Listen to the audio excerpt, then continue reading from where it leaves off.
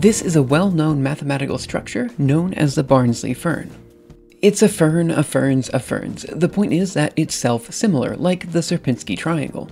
Just like the triangle can be created with a chaos game by choosing a random location in space and allowing that point to move according to a random selection of one of three special functions, the fern can be created in the same way with four special functions. The first function will take any point and move it onto a line at the center. The next will move points up and a little bit to the right. The next rotates everything to the left, and the last flips everything to the right. At this stage, it might not be clear how these four functions relate to the fern itself exactly, so let's do the same visualization again, but this time with a bunch of possible points on the fern itself. Here, it's obvious that the first function creates the stem, the second creates successive ferns as we move up and to the right, the third creates the first leaf on the left, and the fourth creates the first leaf on the right.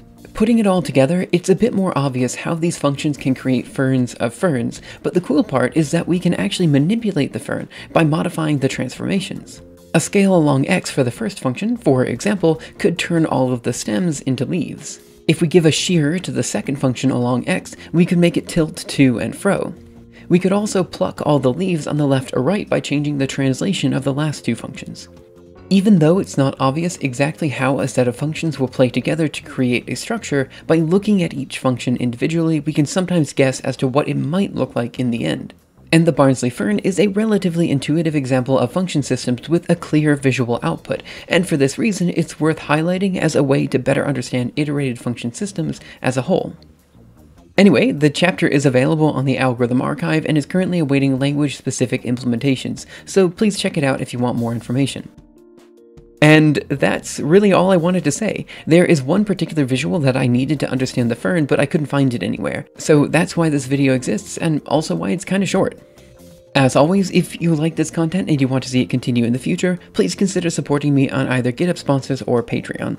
Also, thanks to those who have already chosen to support me, like Mossy, Valentine, and Jeremy.